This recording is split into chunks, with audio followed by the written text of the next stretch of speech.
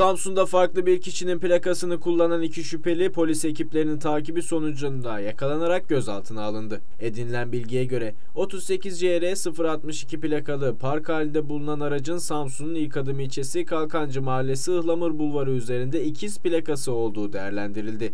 Yapılan incelemelerde bahse konu aracın Bulgaristan'dan ülkeye giriş yaptığı, plakanın ise Çarşamba ilçesinde ikamet eden EA'nın aynı renk ve markada olan aracına ait olduğu tespit edildi. Bu esnada farklı bir konuyla ilgili İlyasköy Polis Merkezi Amirliği'nde bulunan YEA ve SÇS yakalanarak Gazi Polis Merkezi Amirliği'ne götürüldü. Buradaki işlemleri tamamlanan YEA sevk edildiği Samsun Adliyesi'nde çıkarıldığı hakimlikçi adli kontrolle salı verilirken SÇS ise ifadesinin alınmasının ardından serbest bırakıldı.